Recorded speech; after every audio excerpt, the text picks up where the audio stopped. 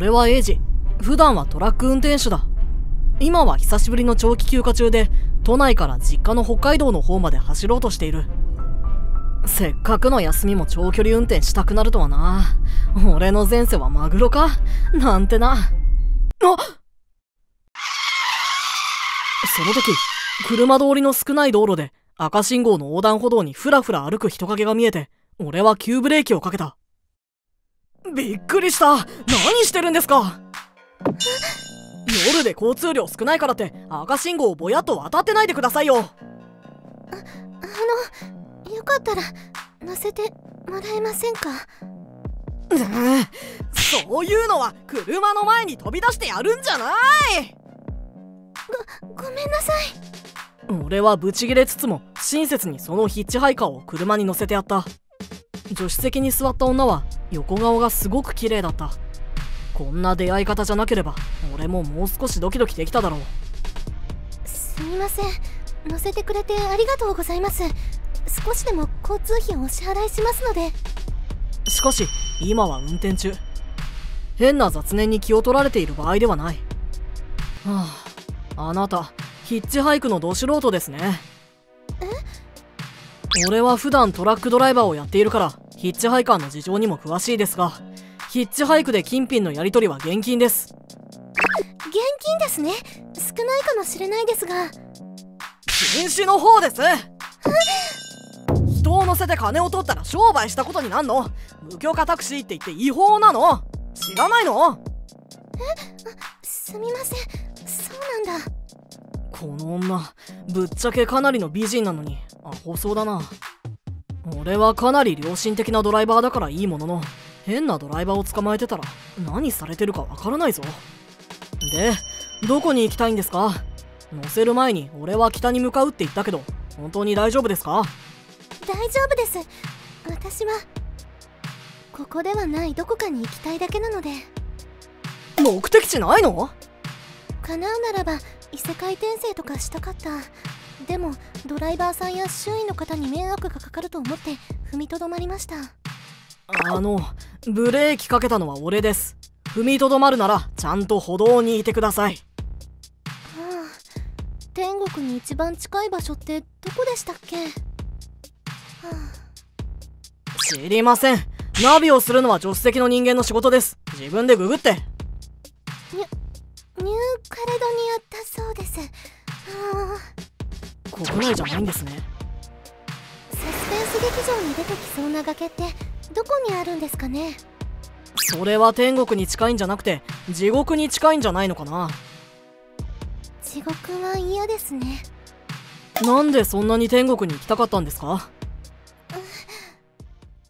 恋人に裏切られました。なんかそんな気がしました。婚活パーティーで知り合った人に最近ごまたかけられていたことが分かりました股に玉は1個しかないくせにえなんで2個ないんですか浮気癖がひどくてどこぞの彼女に潰されたそうです真偽は不明ですがもう1個の運命も危ういなしかも彼女2人が妊娠中なんだそうです私にこの前プロポーズしてきたのに一緒に指輪を買いに行った矢先なのに彼氏は地獄行き決定じゃないですか。婚活パーティーって結構素性が怪しい人もいますよね。俺も行ったことはあるけど薬指に指輪の跡がある人も堂々と紛れ込んでたからな。2年も付き合ってて今までどうして気づかなかったんだろう。自暴自棄になる気持ちはわかるけどせっかく乗せてあげてるんですからもっと楽しいとこ行きましょうよなんか目的地になりそうな場所ありませんか？人が旅をするのは到着するためではなく旅をするためである。 by ゲーテそれヒッチハイクする人のセリフじゃないですよ。だったら自分で運転しましょう、うん、目的地というのは決して場所ではなく物事を新たな視点で見る方法である。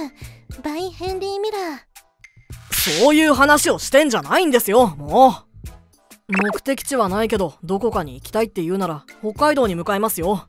俺の目的地は北海道だから。私の実家北海道です。そうですか。なら実家に帰って少しゆっくりすればいいんじゃないんですか？ありがとうございます。優しい方に乗せてもらえて本当に良かったです。かわいい。うん。ただすぐには着かないですからね。俺も休憩を取りながらだし。ん？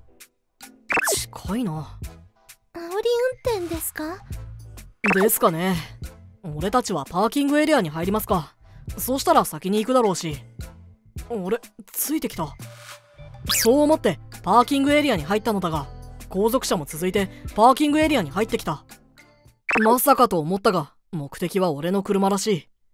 後続車が俺の車の横に駐車するとこんなの初めてだな。マジであるんだなこういうの参ったな。横付けされたわ。あの元彼かも。は？元彼？俺は君がいないとダメなんだ！あんなに裏切りを重ねていたのに私が別れると言ったら泣きついてきて別れるのに相当揉めてたんです。そういうことか。うわ来たよ。おい開けろよ！誰だよお前俺の女だぞ。返せよ。警察呼びますか？大丈夫じゃないですか。俺話し合いには自信あるんですよ。え？元ヤンなものですから。え？窓の外にいるのは一見普通のサラリーマン男性。喧嘩になっても負けそうにないと判断した俺はあっさりとドアを開けて元彼さんの前に仁王立ちになった。うちの車に何の用だ？おい人の顔見てビビってんじゃねえよ。ずっと車をつけ回してここまでついてきて窓までゴンゴン叩いてたよな。一体何の用だ？あ？あの俺の彼女を乗せてますよね。お前の彼女？お前はまさか玉が1個しかなくて浮気癖がひどくてごまたかけて現在2人を妊娠させてる男じゃないよな そそれは。俺の車の助手席にいる女の元彼がそんな男だって言うんでこれからぶっ飛ばしに行こうかと思ってたんだよ。まったく男の風上にも置けねえクズだ。残りの玉が縮み上がって自分から潰れるくらいの目に合わせなきゃいけねえと思っていたがまさかそっちから来てくれたとは。ち違います。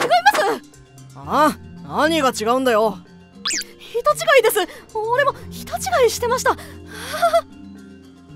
うん。ってことはお前はそのろくでなしじゃねえってことか？そうですそうです。ああなたの助手席に乗ってる人が俺の彼女に似ていたので慌てて追いかけてしまいましたが今見たら全然違う人でした。すみません。そうだよな。え？そんな野郎が元カノ追いかけ回した挙句俺の彼女なんてまだ言ってるはずねえよな。殺される？ですです。そんなことあるわけないですよね。いやーよかったわ。彼女さもう俺の彼女なんだよね。本当に元彼本人だったらさ怒りで視界が赤く染まって何かが物理的に赤く染まっても多分気づかない感じだったと思うんだよ。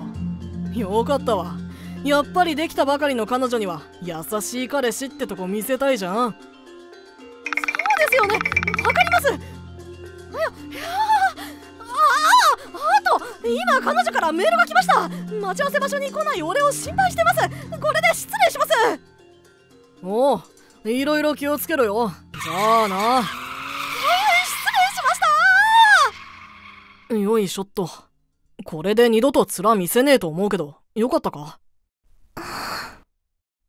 おい目開けたまま寝てんじゃねえぞ。はい。いやそのありがとうございました。ん？おい行きますよ。かっこよすぎて思わず見とれちゃったじゃない。ん？それからも休憩をちょいちょい挟みつつ北海道を目指して東京から青森港まで走り続けた。俺は走り慣れているけど同乗者に気を使っていたら青森港まで結構時間がかかってしまった。そして津軽海峡フェリーが函館に着いたのはもう夜。俺たちが東京を出発して丸1日程度かかっていた。もうお別れなんですね？目的地には着きましたからね。なんだか寂しいですね。まあ人生も旅みたいなもんだって誰かが言ってましたよ一生旅してればいいじゃないですか。旅の過程が楽しいならずっと目的地なんて作らなきゃいい。あなたはかっこいい人ですね。今もヤンキースイッチ入っている時もかっこよかったです。ああまああれは過去の絹塚ってことで。ははあのまた会えませんか？え？私あなたを好きになっちゃいました。あなたと話をしてるのは楽しかったですよ。あなたはちょっと変な人だけど。一緒にいたら俺の人生もっと面白おかしくなりそうですね。それもまたいいのかな？それに関してだけは自信があります。自信あんのかよ。じゃあとりあえず付き合ってみますか大船に乗ったつもりでいてください。さっきまで人生諦めそうになってた人のセリフじゃないな。それから半年。俺たちは順調に交際している。今日はどこに行く？入籍してハネムーンに行く。なんちゃって。葵の独特な会話のセンスにもなれ。俺は葵の全部が好きだと思えていた。オッケー。分かった。え？本当に？冗談のつもりで。行きたいなら行くようん。葵の行きたいとこならどこへでも連れてってやるよ。俺たちの旅はこれからもまだまだ続く